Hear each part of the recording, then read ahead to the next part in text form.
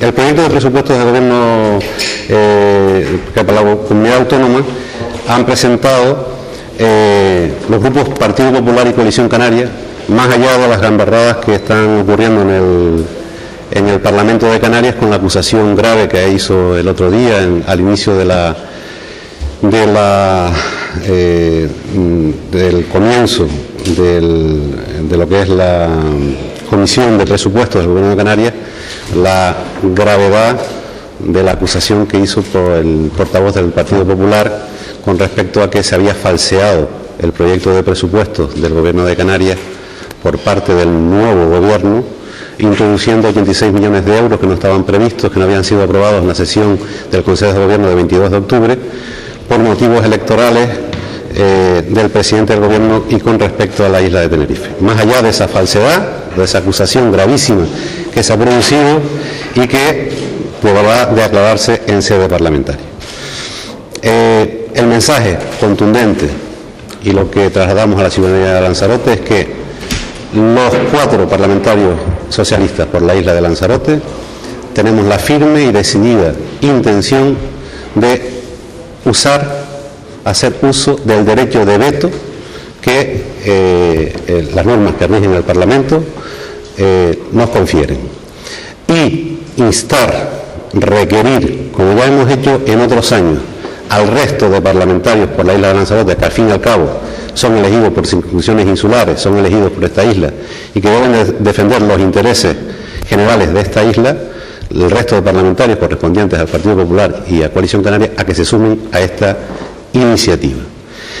El porqué de este, de este requerimiento eh, formal, público, al resto de parlamentarios, PP y Coalición Canaria, más allá de que hayan sido sus partidos quienes hayan elaborado este proyecto de presupuesto, son las cifras que por de forma secular, ya son muchos los años en los que Lanzarote viene siendo discriminada en estos presupuestos, ya son muchos los años en que Lanzarote ha hecho un, esfuerzo de solidaridad con respecto al resto de las islas eh, canarias, las de este año son unas cifras de todo punto inaceptables, igual que la fueron las de años anteriores, pero este año con una mayor contundencia y gravedad porque suponen una discriminación clara y rotunda con respecto a la isla de Lanzarote.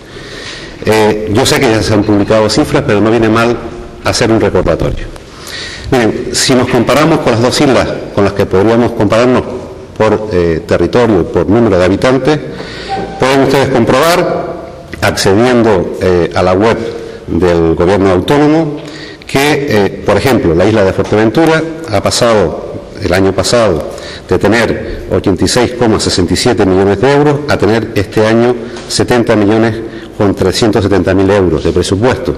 Es verdad que hay una diferencia de 16 millones 300 mil euros que supone un recorte de un 18%.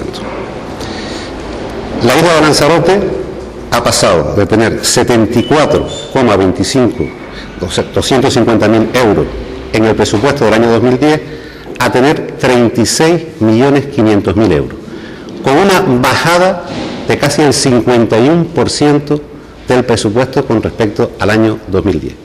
Si nos vamos a la isla de La Palma, con la que tradicionalmente nos hemos comparado durante los últimos prácticamente 18 años, nos encontramos con que La Palma tiene, tenía en el año 2010 65 millones 30 mil euros de presupuesto y ahora pasa a tener 76 millones con 770.000 euros. O sea, una diferencia de más de 11.940.000 euros en tantos percentuales, un 18% más.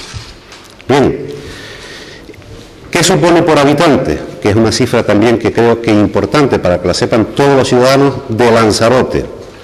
Y, vuelvo a repetir, esta es la propuesta que hacen Partido Popular y Coalición Canaria que también tiene sus representantes en Lanzarote. Que yo sepa, aquí existe el Partido Popular y Coalición Canaria. A veces no se nota mucho, pero sé que existen porque eh, eh, gobiernan en las instituciones, en algunas instituciones, y tienen sus presidentes. Luego hablaré de ello. Bien, con respecto a, habitantes, por ejemplo, Fuerteventura el año pasado tenía por habitante 840 682,14 euros. Eh, este año tiene 682,14 euros. O sea, hay una diferencia menor a la baja de 158 euros por habitante. Lanzarote tenía el año pasado 523,12 por habitante y este año, por mor de lo que nos quiere este gobierno de Canarias, Partido Popular y Coalición Canaria, tenemos 257,14 euros por habitante. Una diferencia de menos de 266 euros por habitante. Y La Palma, de 747,59 euros que tenía en el 2010, ahora tiene 884,70. O sea, una diferencia de más de 137,19 euros por habitante. ¿Qué significa esto comparativamente? Que, después me referiré a las palabras del señor Rivero, estos presupuestos que al parecer igualan a todos los canarios, resulta que con respecto a Fuerteventura nosotros tenemos una diferencia a favor de Fuerteventura por habitante de 108 euros. Y con respecto a la isla de La Palma, también tenemos una diferencia en contra nuestra y a favor de ellos de 403 euros con 19. Nos vamos al último parámetro que podemos utilizar. ¿Cuál es el peso específico que tiene Lanzarote dentro del presupuesto, eh, del proyecto de presupuestos de la comunidad autónoma? Bueno, el año pasado Lanzarote tenía el 6,2, este año tiene el 4%. Hemos disminuido un 2,2%. Fuerteventura, que tenía el año pasado un peso específico de 7,2, pasa a tener 7,7, o sea, tiene un aumento de 0,5 porcentual. Y La Palma, que tenía un 5,4, pasa a tener un 8,4, o sea, tiene 3 puntos porcentuales más en el peso específico. O sea, todos los parámetros que se pueden utilizar para aquellos que son de ciencia ¿eh? son claramente discriminatorios con la isla de Lanzarote. Lo miremos por, lo miremos por donde lo miremos. El presupuesto se puede analizar desde estos tres parámetros fundamentales. Totales, habitantes y peso porcentual. En los tres, Lanzarote es claramente perjudicada. Y además sin motivación de tipo alguno, porque el presupuesto tiene una memoria y la memoria hay que leérsela. Estos son los datos, esta es la frialdad de los datos, la frialdad de los euros por habitante.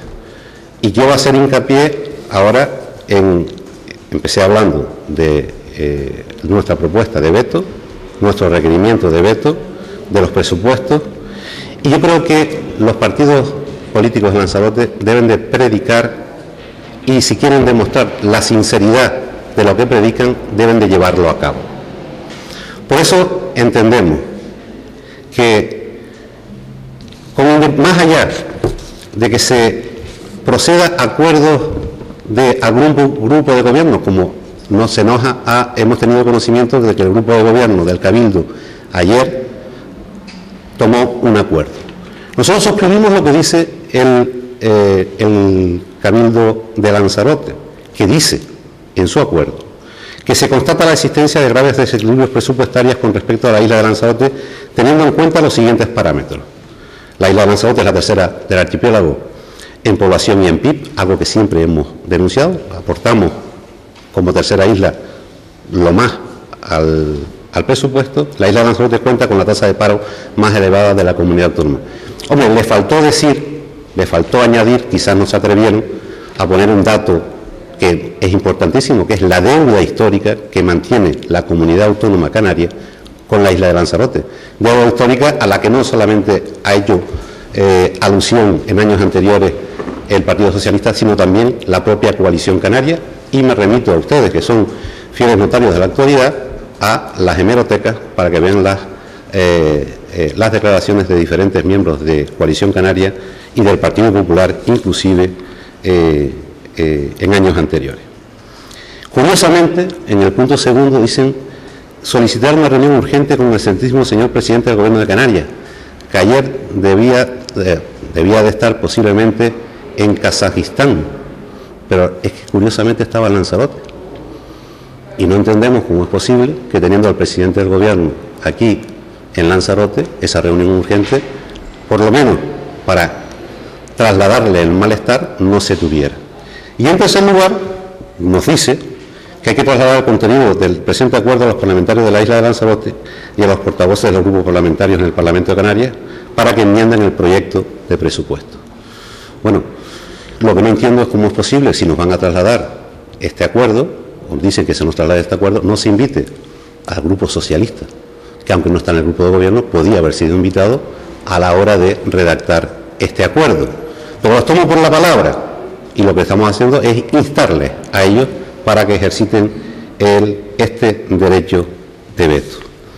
Mire, nosotros pensamos que en este tema, que es tan grave para la isla de Lanzarote, no se pueden adoptar posturas de cara a la galería, intentar tomar acuerdos para intentar quedar bien, para que luego pase lo que pasó el año pasado, que es que a través de cuatro migajas en cuatro enmiendas se les tape la boca y justifiquen de alguna forma el apoyo a los presupuestos del, Gobierno de Canarias. Por eso, el Partido Socialista en Lanzarote ha decidido y no ha mandatado a los eh, parlamentarios y a los consejeros del Cabildo y a los ayuntamientos para que hagamos lo siguiente. Lo que debe hacer el presidente del Cabildo, si quiere llevar a cabo lo que predica y si es sincera su indignación, es convocar de forma urgente un pleno extraordinario con dos puntos en el orden del día. Mostrar el rechazo a los presupuestos y, en segundo, instar a los parlamentarios para que ejerciten el derecho de veto.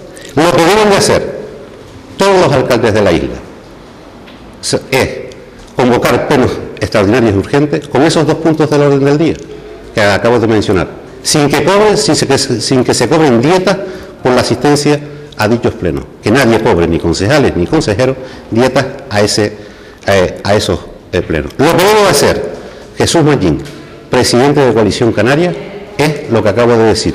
Y lo que debo hacer Astrid Pérez es dar las órdenes, presidenta del Partido Popular, para hacer lo que acabo de decir. Sí, sí, su rechazo es un rechazo sincero.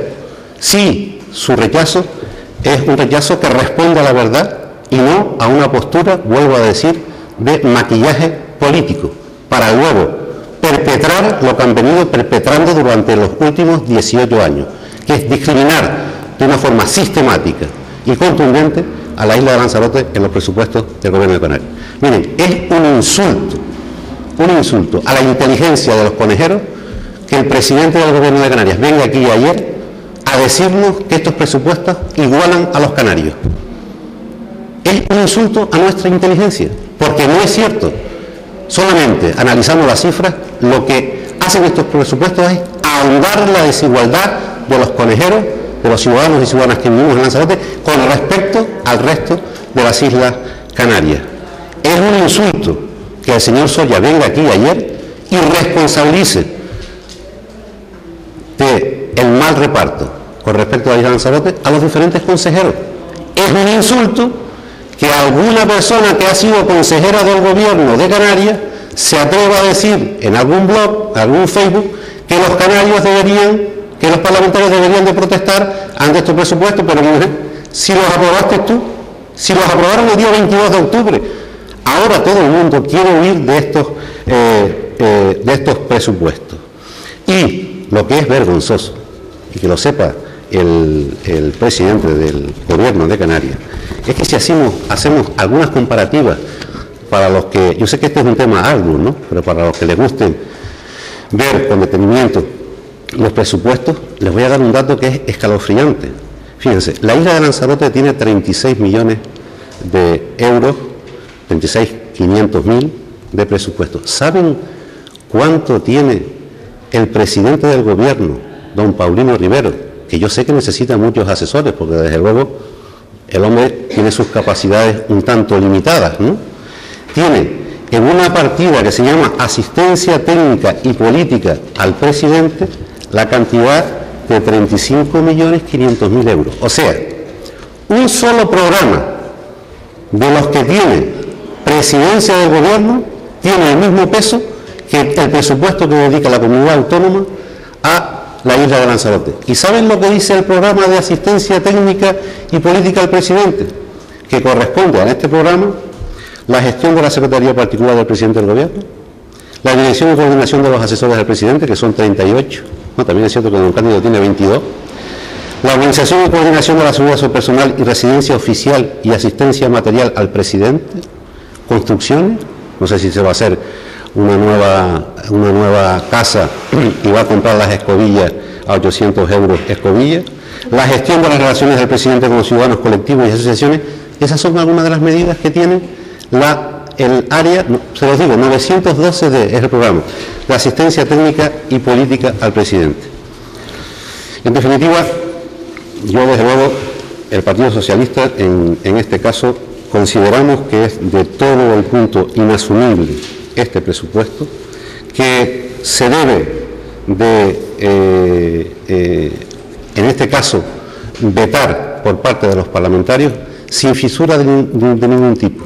Y aquí esta va a ser la prueba definitiva de, si efectivamente aquellos que fueron elegidos por la ley de Lanzarote están por defender los intereses de Lanzarote o están por obedecer y plegarse a los intereses que ajenos eh, a esta isla de Lanzarote. En mal camino estamos y en malas manos estamos cuando un presidente del gobierno se atreve a decir, como ha dicho públicamente también ayer, que estos son los presupuestos del señor Soria y que él los ha asumido como si no fuera corresponsable también de la redacción de los presupuestos del gobierno de Canarias que vuelven, reitero, a discriminar.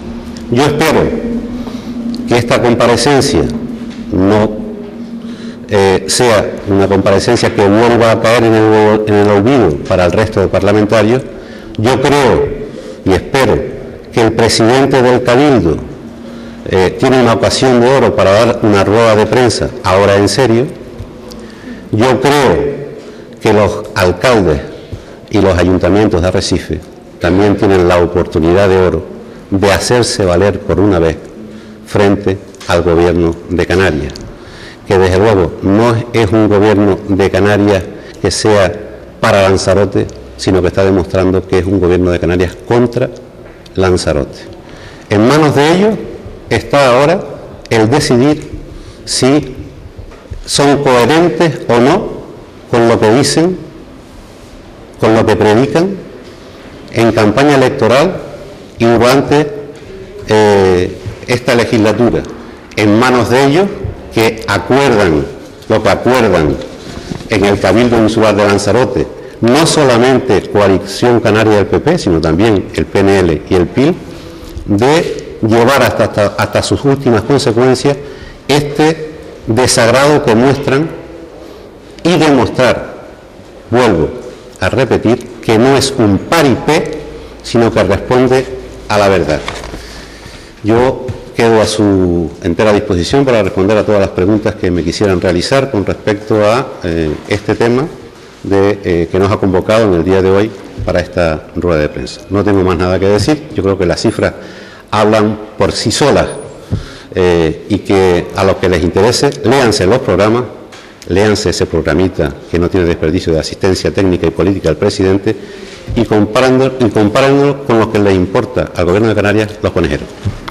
Don Fabián traiciona, le traiciona su subconsciente. La doble moral la puede tener él, nosotros tenemos una sola moral y que en todo caso, eh, si él no está de acuerdo con los presupuestos, ya sabe lo que tiene que hacer en el cabildo, firmar menos papelitos y actuar en consecuencia. La única forma, efectivamente, es que haya una reconsideración total de lo que es todavía proyecto de presupuestos al presupuesto. Y que por una vez, de una vez por todas, vuelvo a repetir, eh, no olvidándome de la deuda histórica, eh, por parte del Gobierno de Canarias se, se constate la sensibilidad con la isla de Lanzarote. O sea, si ustedes analizan los presupuestos, parece que aquí no tenemos problemas educativos, que ya hemos cubierto todo el mapa educativo de Lanzarote, parece que no, no tenemos problemas sanitarios, que aquí tenemos cubierto todo el mapa sanitario de Lanzarote, que aquí no hay problemas, aquí no hay personas que se mueren esperando esperando a que se les reconozca los derechos de la ley de dependencia, ni personas que llevan esperando muchísimo tiempo, y de eso sabe muy bien mi compañera eh, Olivia, eh, a que esos derechos se concreten, a que parece ser que no hay problemas de, vivienda, por cierto. Ayer vine a entregar 17 llaves, creo, si no me equivoco, ¿no? 17 las llaves, 17 viviendas, eh, el tema de alquiler, ¿no? Miren, desde el año 95, creo que la directora general de vivienda, doña María Isabel Deni, no se hace aquí, eh, no se entregan eh, casas de protección oficial. Si contamos desde el 95 hasta el 2010, son 15 años. Han entregado una llave por año, pero no de una casa en propiedad, sino una casa de alquiler. Eso es una política buenísima para Lanzarote. ¿eh? Eso demuestra, yo es que no sé, lo digo con toda sinceridad, cómo no se le cae la cara de vergüenza por Nino Rivero de venir a entregar las llaves. Es que no lo sé, porque es una auténtica desvergüenza. No han hecho absolutamente eh, nada. Por tanto, uso de las preguntas que me hacía, lo que van a tener que demostrar Coalición Canaria y el PP a través de enmiendas o a través de una modificación, e incluso no hablo ya de la retirada del proyecto, que es lo que deberían de hacer, ¿eh? sería cambiar totalmente el presupuesto del Gobierno de Canarias y adaptarlo a las necesidades reales de la isla de Lanzarote. Por eso yo, nosotros hacemos requerimientos a los parlamentarios, pero también le decimos al Cabildo y a los ayuntamientos que se sumen a esta petición, porque según me han comentado, hay algún alcalde esta mañana, eh, parece ser el que tiene los 22 asesores, que por cierto, 16 asesores menos que el, presidente del Gobierno, también el, el hombre no necesita los 22 asesores, porque desde luego para meterlo a camino es eh, es un poco difícil, ¿no? Eh, lo que tendrían que hacer es demandar obras, demandar inversión. Ya les daremos otra rueda de prensa donde haremos un histórico de las inversiones en la isla de Lanzarote y es todavía más sangrante que, la, que las cifras que les estoy eh, diciendo ahora, ¿no? Y que ustedes conocen porque han sido, están publicadas en, la página del gobierno de Canarias pero yo estoy completamente seguro que si los parlamentarios del Partido Popular de Coalición Canaria quieren a la isla, tienen que vetar los presupuestos. Yo es que no, me planteo otra, otra posibilidad.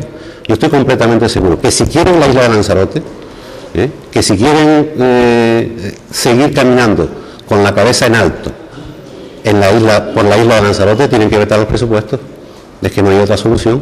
Nosotros vamos a pedir donde no, donde no gobernemos Vamos a pedir, aunque no tengamos número, que sea el alcalde quien convoca el pleno extraordinario eh, y urgente. que yo me imagino que don Jesús Machín, que es el presidente de Coalición Canaria, pues bueno, bastará, se lo pediremos formalmente, pero me imagino que ya lo habrá, lo habrá, lo habrá convocado, me imagino. Y lógicamente, eh, aquí está el compañero Marcial y el compañero José Juan, eh, pues lo harán, ¿no? Pero vamos, me imagino que Suso Machín lo hará. Imagino que, eh, y además ordenará, entre comillas, lo de ordenar en coalición canaria, no ordenar de mandar, sino ordenar de, en otro sentido, ordenará que el resto de, los alcaldes de coalición canaria lo hagan. Imagino que doña Acis Pérez, que estará muy dolida con estos presupuestos, y más si se lo han falsificado o falseado, como ha dicho don Víctor Moreno, también dará las instrucciones eh, bueno, pertinentes para que el señor eh, Reguera pues convoque el pleno extraordinario y urgente. ¿no? Los cabildos localmente, como la FECAI no tiene personalidad jurídica propia, localmente los siete cabildos de, Canarias es eh, hacer lo mismo que ya hizo el Cabildo Insular de Lanzarote en su día, y por cierto, que fue el pionero porque fue el que ganó la primera sentencia judicial. Eh, lo que ha hecho el Cabildo de Lanzarote es lo que han acordado los siete cabildos de, Canarias, incluido el de La Palma, que es de Coalición Canaria, el del Hierro, que es de Coalición Canaria, Melchor, que es de Tenerife, que es de Coalición Canaria, que es presentar una demanda eh, ante los tribunales para el tema del reparto de los fondos del REF, eh, comunidad autónoma, cabildos insulares. Pero eso no significa o sea, no tiene absolutamente nada que ver con los presupuestos eh, generales de la comunidad eh, autónoma. Que no sirva eso de pantalla o de disculpa para no hacer lo que nosotros entendemos. Mm, no imponemos, sino que entendemos y proponemos que se debe de hacer en las instituciones. Mire, mm, cuando durante muchos años viene pasando esto y la reacción y ustedes llevan ya tiempo viviendo aquí y son informadores que consolidados en la isla de Lanzarote. Han visto que siempre la jugada es la misma. O sea, nos presentan unos presupuestos malísimos, llega el periodo de enmienda, dos o tres migajitas, tres millones, y justifican el apoyo. No, mire, ese juego ya ha terminado y nosotros estamos muy cansados. ¿Por qué no hemos podido nosotros ejercer el derecho de veto? Porque ustedes saben que para ejercer el derecho de veto, Lanzarote necesita seis parlamentarios que lo hagan. Yo le hago la invitación a los cuatro restantes, a los ocho, porque entiendo que es su obligación, y lo digo con, con toda la sinceridad, y no buscando rédito político, porque en definitiva lo que quiero es que venga para el Lanzarote, y vuelvo a repetir, las inversiones que son necesarias para, eh, para la isla. Y se acabó el tema, y yo creo que la gente, la gente de Lanzarote mm, es muy inteligente y saben que este tipo de acuerdo, este tipo de acuerdo, este tipo de acuerdo, donde se dice, eh, solicitar una urgente al presidente, el presidente estaba ayer, ¿qué le costaba ayer al presidente que dijo que esto igualaba, vuelvo a repetir, a los canarios, estos presupuestos igualaban al presidente, reunirse con el, con el presidente del Cabildo, que es la máxima institución eh, de la isla, que es el máximo representante de la isla? No le costaba absolutamente nada, pero vino lo que vino. Mire, yo estoy encantado de que este señor que Paulino Rivero venga mm, a los Dolores, vaya a Fuerteventura y se saque una foto ordeñando una cabra, vaya a La Palma y se saque una foto arando el campo, eh, y que haga todos los actos protocolares, por eso tiene 35 millones de, euros, y no sé si aquí está el helicóptero o no está el helicóptero, los gastos del helicóptero, pero por cierto, todavía no sabemos cuáles son. Pero hombre, eh, estas posturas cara a la galería eh, ya se acabaron. Es que debían de haberse acabado hace muchísimos años. Y yo mm, respeto, porque tengo respeto institucional, a los acuerdos del grupo de gobierno del Cabildo. Pero es que los acuerdos no pueden quedar en meros acuerdos para quedar, intentar quedar bien ante la ciudadanía. De los acuerdos hay que pasar a los hechos. Y el único arma que tenemos, que además ustedes saben que es un arma simbólica, es el tema del veto y el tema de las enmiendas. Ellos deberían, mire, ellos deberían, deberían, si tuvieran algo de vergüenza política, pedirle a Paulino que retirara los presupuestos, ni que llegáramos al, trámite de, enmienda y que los rehiciera y que se diera cuenta que aquí, en el extremo oriental, está la Graciosa y está Lanzarote y que existimos y que llevamos muchos años, vuelvo a decir, siendo solidarios. Lo dicen en el acuerdo de gobierno ellos, ellos, ellos lo dicen es la isla, la tercera isla de la en población y en PIB, en Producto Interior Bruto, y somos los terceros que aportamos a, la comunidad autónoma por nuestros empresarios, por nuestras industrias, ¿eh? y es la isla que cuenta con más paro. Pues a la isla con más paro y la tercera que más aporta, resulta que le quitas más del 50% del presupuesto. Yo no sé si este hombre ha abandonado por completo la, la sensatez, está en, otro, en, otro, en otras cábalas políticas y lo único que le interesa es en este juego en el que han entrado. Soria está diciendo ahora que estos presupuestos que hace él discriminan a Gran Canaria, porque parece ser, dicen ellos, que hay 86 millones de euros más para Tenerife. Y él en Tenerife juega a lo que juega, porque tenemos elecciones en mayo, ni más ni menos. Ustedes asisten a las comisiones de presupuesto. Y, y yo me quedé asombrado el otro día. El otro día eh, el otro día, por, eh, eh, por antes de ayer, yo asistí a la de Medio Ambiente y Ordenación del Territorio. Por cierto, que hasta por recortarles le han recortado el nombre, porque antes era Medio Ambiente y Ordenación Territorial y ahora es Agricultura, Ganadería de Pesca y Medio Ambiente. La ordenación territorial desapareció, igual que el recorte que le han hecho a Medio Ambiente y Ordenación Territorial. Y llegué a oír de boca de alguien del PP una crítica al gobierno por haber reducido tres direcciones generales. Y le decían los del PP a Coalición Canaria, oiga, ¿por qué no redujo antes?